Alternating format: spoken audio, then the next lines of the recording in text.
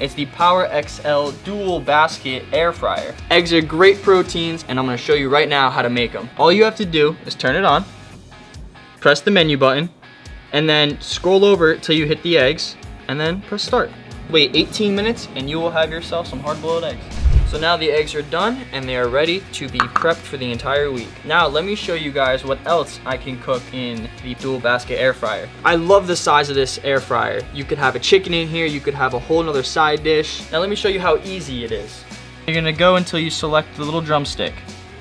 So now I'm gonna press the number two, which is going to be the second side of your basket, and that's gonna be cooking my potatoes. So it's been 20 minutes, and it beeped, so it's ready for the sweet potatoes. So now there's only 20 minutes left, and all you have to do is start it. My chicken and my potatoes are done. Let me show you what I do with them. I make these salads, make a soup. I put some of the chicken in there, potatoes. I love cooking with this air fryer. It's healthy, it's easy, and it's very convenient.